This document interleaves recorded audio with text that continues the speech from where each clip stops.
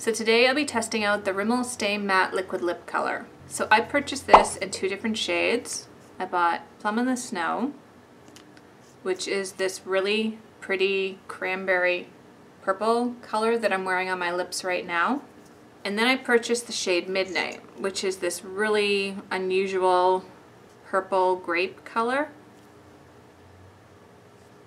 It's almost like a blackberry color.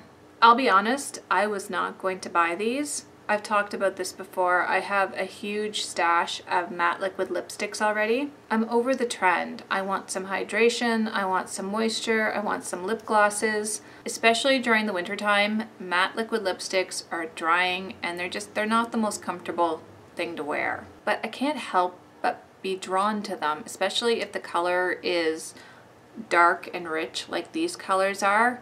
I don't have to worry about them traveling outside of my lip line or smudging up my face. So I decided that I would only buy colors that were just a little outside my comfort zone because the last thing I need is another nudie pink lipstick. So let's take a look at some of the claims that Rimmel makes about this lip color on their website. It's available in 14 different shades and it retails for $5. This is a liquid lipstick with a high intensity color and a velvety matte finish. It has a bold matte color in one stroke and it is kiss proof, touch proof, waterproof, and that's all it really says. So as far as the kiss proof, I would agree with that. Um, I've been wearing this for two hours and yeah, it's not transferring. I found this pretty easy to apply. The applicator is, um, it's a very thin doe foot applicator, if you can see that. So it just, it made it a little bit easier to line like the outer corners of your lips. It's not tacky at all, although it does take about two minutes to dry down. I found that I had to build up the color a little bit. I found that at first swipe that they were a little patchy, but once I added a second coat, it evened out completely, and so far, it's looking pretty good. It doesn't seem to be going anywhere. So the time right now is 1021. I'm gonna go on about my day and then I will check in with you guys later after I've had some lunch and let you know how this is holding up. All right, so the time check is 4.25. So since our last check-in, I had some lunch. I had mashed potatoes and hummus, which I know is a very, very strange combination. I have a weird palate these days. I, I yeah, we'll just leave it at that. But so far, it's still holding strong. Yep, it's still, it's still not budging. Just something to be aware of, um, and I'm not sure if it shows in this light. This is this hand that I did the swatch on, and you can still see a little bit of residue there from where, uh, from where I did the swatches. So the darker shades do stain like crazy. You'll need a really good uh, waterproof makeup remover in order to get this stuff off.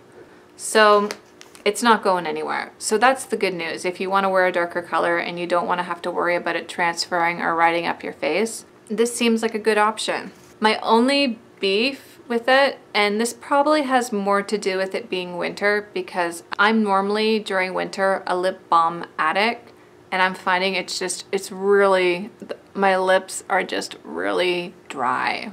It's nice for change, but I'm not going to get into the habit of wearing liquid lipsticks during the winter time just because of the drying aspects. But as far as the longevity and the color and the transfer proofness, so far I'm really liking this one.